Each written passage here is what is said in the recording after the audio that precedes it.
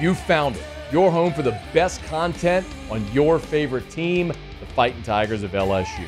Do us a favor, subscribe to the channel, leave your comments below, and be sure to smash that like button.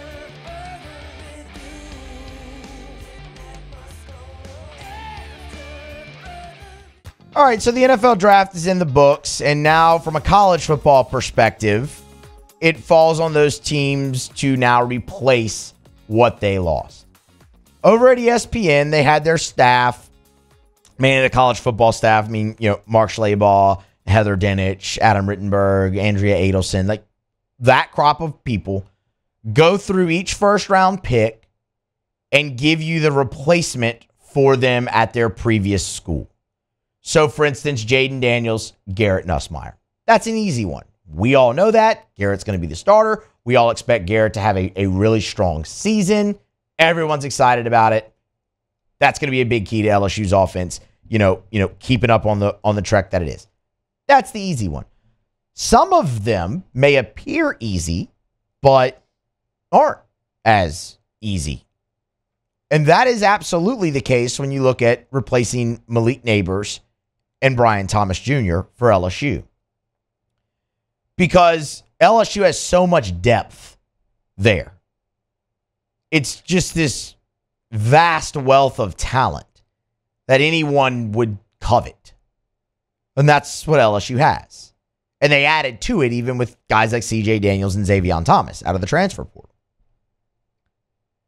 Speaking of those two, when you go down the list and you get to Malik Nabers, the replacement that Mark Schlabach lists is CJ Daniels or Zavion Thomas. Now, a lot of you might say, oh, what about Kyren Lacy? And fair, that's not where I'm going with this because we all know Kyren Lacy is going to have a, a breakout season. And in the write up, Schlabach mentioned Kyren Lacy was LSU's number three. He figures to become Nussmeier's primary target.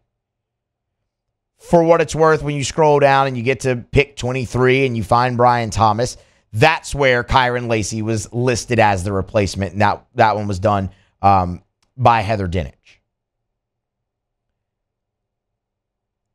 Those guys, especially Kyren Lacy, will absolutely have a big role and they will be massive in replacing the production lost.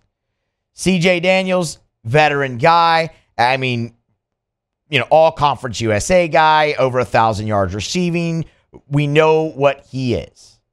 Same thing with Zavion Thomas. And you look at the way he's going to impact in the return game, huge.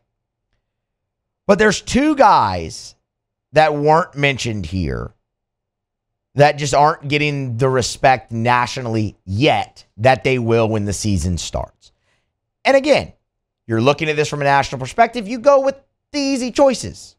Kyren Lacy was the you know the third guy last year. He's going to step up. CJ Daniels, Zavion Thomas, the two big transfer portal additions. You're not going to bring them in if you're not going to play them. Sure. But I'll take you back to spring practice and Brian Kelly.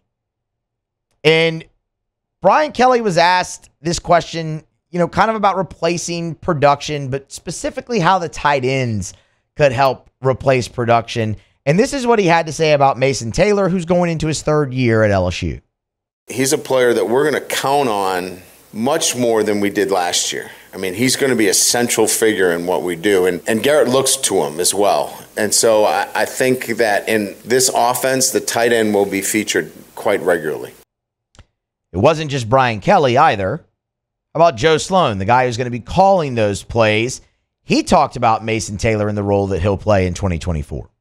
Mason Taylor is one of our best football players. Uh, LSU fans know him for the last two years and just his consistency and his ability to make plays. And I think we want to find ways to get him the ball. And I think you could see Nuss working his way, or obviously we're going to go where the read takes us, but putting him in positions where he potentially is the first, second, or, or third read, where the ball maybe will find him a, a, a, little bit more. But I think, you know, just from a consistency standpoint and uh, an experience standpoint, he obviously brings a ton. Um, and I think he's one of the best tight ends in the country, and we want definitely want to utilize him that way. That's the head coach and the play caller telling you how big of a fixture Mason Taylor is about to be in this offense. And they both said very similar things. Garrett looks to him. You know, Garrett trusts him. You're familiar with him, but he's going to be featured. He's going to be a big part. We want the tight end position to be that. Joe Sloan said he's one of their best football players and one of the best tight ends in the country. Look, I don't know if for this you for this PCSPN did you specifically had to, you know, replace a receiver with a receiver, but Mason Taylor is going to be a massive part of replacing the receiving yards lost uh, in in Malik Nabers and Brian Thomas going to the draft. The head coach and the play caller told you that. If that's not enough, you've already seen it. Go back to the bowl game. Mason Taylor in the bowl game versus Wisconsin had seven receptions, career high, 88 yards, tied his career high. He had a career game the first time out with Joe Sloan calling plays and with Garrett Nussmeier throwing him the football as the starting quarterback. That's what you're getting ready to see. That's going to be a massive part of replacing the production lost with Malik Nabers and Brian Thomas heading off to the NFL draft. You can take their word for it, or you can look at what you've already seen. Not to say that Zavion Thomas won't have a big role, not to say that CJ Daniels won't have a big role, not to say that somebody like Aaron Anderson or Shelton Sampson or guys like that will have a big role. But those are the easy choices when you're looking at this from a national perspective. When you're a little bit here, a guy like Mason Taylor is somebody that you're absolutely going to see burst onto the scene more this year and become more nationally than just the guy who caught the two point conversion against Alabama in 2022 as a freshman you could see Mason Taylor become, instead of the guy who caught the two point conversion against Alabama, the next great tight end to come out of, uh, you know, Brian Kelly's tutelage. Join guys like Kyle Rudolph, Cole Kmet, Michael Mayer. You know the list. I'm not going to sit here and tell you that he's going to have a thousand yard season or catch 15 touchdowns or anything like that but he's going to grab the national attention at some point this year because of the increased role that he will have. The other guy that is going to get more publicity nationally this season is Chris Hilton. Listen to what Brian Kelly said about Chris Hilton in spring this season when guys move on, it thrusts you into, you know, that position of need, leadership, whatever words you want to call. And he now knows that the mantle has been passed to him and it's his time. I think he's really done a, an outstanding job of, you know, being the next wide receiver up at LSU. Every day He's gone out there and, and, practiced at a high level. He's developed a consistency at that position that I think at times maybe you could argue that he was, you know, lacked consistency, whether he was hurt or whether he would drop a ball. We haven't seen any of that. Chris Hilton has put himself in a position to be next, Brian Kelly just said. Again, the head coach is telling you that. And again, you've seen it.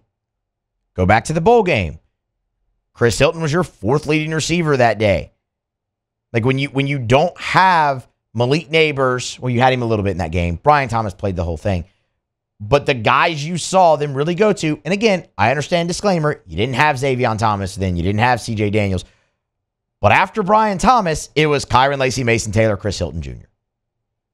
56 yards and a touchdown. Had a massive catch late in that game down the sideline to put LSU in position to win. And on top of that, for the same reason you can expect a big breakout year for Kyren Lacy, whether it's whether it's him being, you know, the number three guy last year or whatnot, the relationship that he has with Garrett Nussmeier, running twos with Garrett Nussmeier for so much, Chris Hilton has that as well. There's already that continuity there. They've played a lot of football together in practice. You haven't seen a lot from Chris Hilton on the field, whether it be injuries or, and we all know his journey, injuries or, you know, being behind guys like Nabers and Thomas and, and just everyone that he has had to fight through. But now it appears it's his time too. Those are the two guys. Like LSU, like we said at the start of this, has just an embarrassment of riches at the wide receiver spot. And that's why it's kind of hard to predict who's going to be the, you know, key replacements for Malik Nabers and Brian Thomas now that they're off. Kyren Lacy's a given. And yeah, the guys out of the portal will help.